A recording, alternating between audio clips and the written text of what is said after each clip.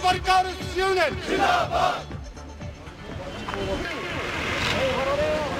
ہڑتال کی وجہ کیا ہے کیوں مزدور لوگ ہڑتال کی کیا وجہ ہے آواز دو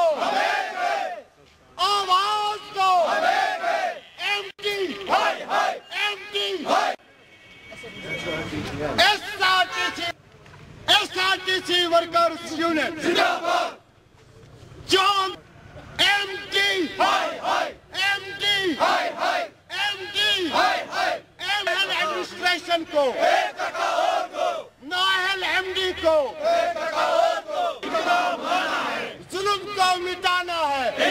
حال حال میں جو سٹیٹ بجٹ ہوئی ہے دو ہزار اٹھارہ، دو ہزار انیس کی، جو ہم نے بیک مانگ کر حاصل کی لیکن ہمارے آج مینیجنگ ڈائریکٹر صاحب جو ہمارے کچھ ریٹائر ملازم ہوئے ہیں، ان کے ففتھ پہ ایریئرس ان کو دینے تھے۔ لیکن انہوں نے کل کورٹ میں یہ لکھ کے دے دیا پرسوں کہ انڈر ٹیکنگ دے دی کہ میں یہ پیسہ خود دوں گا اپنے چیسٹ سے۔ ہمیں اس پہ کوئی اعتراض نہیں ہے کہ وہ ملازموں کے حق واجب الادا کر رہے ہیں۔ لیکن جبکہ وہ ملازم جو ریٹائر ہو چکے ہیں، ان کو چھ کروڑ روپے ملنے والا ہے، ہم چاہتے ہیں کہ یہ پیسہ بجٹ سے نہ اٹھے۔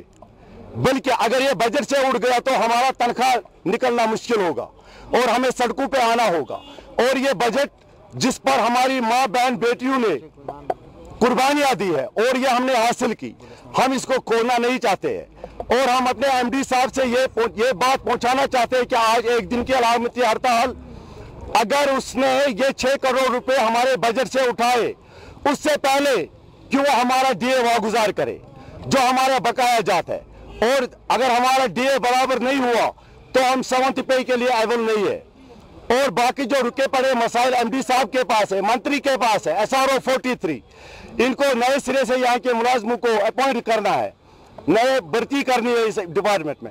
ہم چاہتے ہیں کہ نظر ثانی کی جائے S R O forty three پر۔ اور ہمارے جو یہ چھ کروڑ روپے جنہوں نے جو کل کوٹ میں یہ لکھ کے دے دیا، ہم اس کو کنڈمٹ کرتے ہیں۔ ہم یہ ہونے نہیں دیں گے۔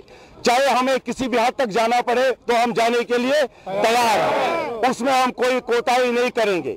ایم ڈی صاحب آج ہے، کل نکل جائیں گے۔ آپ دیکھیے ایس آر ٹی سی کو۔ اسلامک یونیورسٹی، وہ ڈیمانڈ کس نے کھائی؟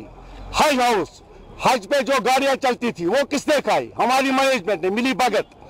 اور تیس ہزار کی جو لینڈ ہے ہماری آپ دیکھ لیجیے، اس وقت ہماری مینجمنٹ تیار ہوئی، انہوں نے سینٹرل گورنمنٹ کو لکھ کے دے دیا کہ تیس ہزار کی زمین ہم آپ کو ایسے ہی مفت میں دے دیں گے۔